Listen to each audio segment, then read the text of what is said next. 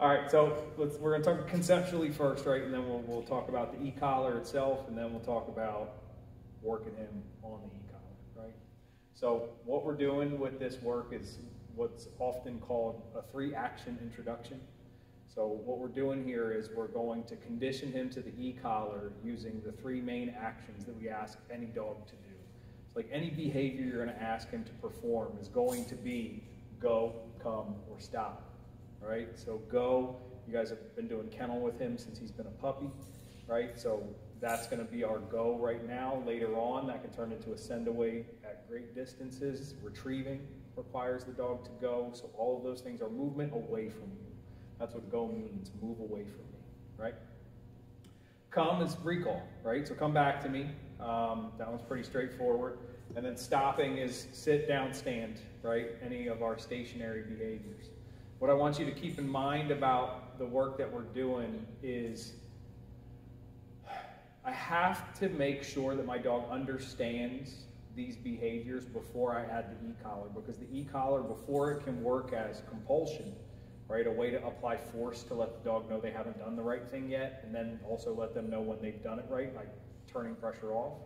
Because when we start out, the e-collar is not going to mean that, right? We have to give it that meaning what it's going to mean when we start is just this is weird, it's distracting, and I don't know what to do with it, right? That's how the dog's going to respond initially. So when we're working through these things, expect him to get a little squirrely. Um, kind of the classic line here is your dog's unconditioned response to any stimulus is not your responsibility. Whatever he just does naturally, uh, we don't have any control over that right? The like first thing that comes to mind whenever he's in a new situation or he experiences a new type of distraction, stimulus, or whatever. What is 100% your responsibility is his learned response to those things. So whatever he does initially is fine. Your job is to teach him what he should do instead. And the most important thing about e-collar that people mess up is they stop applying stimulation at the wrong time. So if I'm working on move away from me, and I'm tapping the button and the dog won't leave my side and I go, huh, that's weird, and I stop tapping the button, I just taught him standing still was the correct thing to do because that's what turned pressure off. Does that make sense? Yeah. And so you'll see dogs at different times throw out a bunch of different behaviors that are not what we're looking for. So the, the very kind of straightforward, simple rule is you have to keep applying pressure through that until they complete the action. Okay? So this is our three actions. When we talk about how we're going to apply pressure, what we're going to do today is from the time you give the dog the command until he completes the action, we're going to be applying that pressure. So this will make more sense when we start kind of using the e-collar. But it's you've done this already with a leash, right? Like you, you applied pressure forward with the leash until he jumped up on a, a cot or a training table or something, and then you relaxed your leash.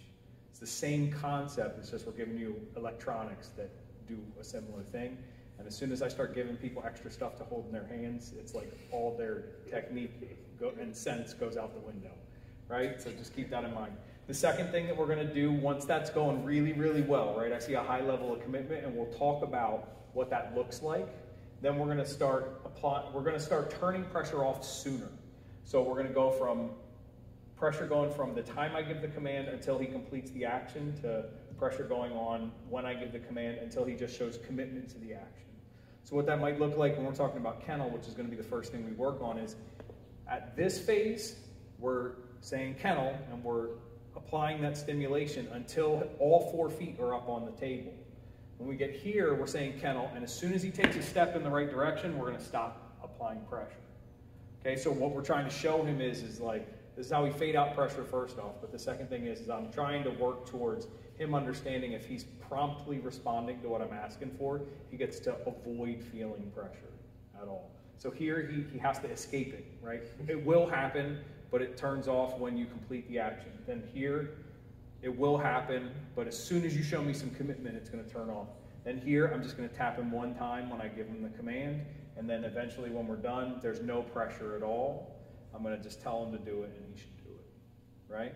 We will reward him for correct responses throughout this entire thing with something extrinsic. You don't have to, but I find it helps balance out any of like the, if he starts feeling a little mopey or something because he doesn't like the way the collar feels. We're not going to be like beating him up with it. It's not going to be particularly high levels, but it's a novel sensation, and so some dogs get weird about it. Right? Yeah. And so a lot of this is discovery learning. It's going to take a number of repetitions until he understands. But when we use the e-collar and obedience, we're for the most part getting them to do something. Even this stop is doing something, right? It's like going from moving to a stop.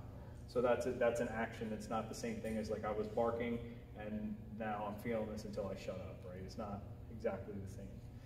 This is a problem sometimes for people that put their dogs on electric fences before they try to do e-collar training because then the electric fence, it's usually kind of a pretty punitive level of stimulation and the dog learns, I gotta immediately stop dead in my tracks when I feel that and that's how I turn it off, right? Or, so we get more of an avoidant response to electrical stimulation with dogs that have done that. Um, I don't think we'll have that problem with him.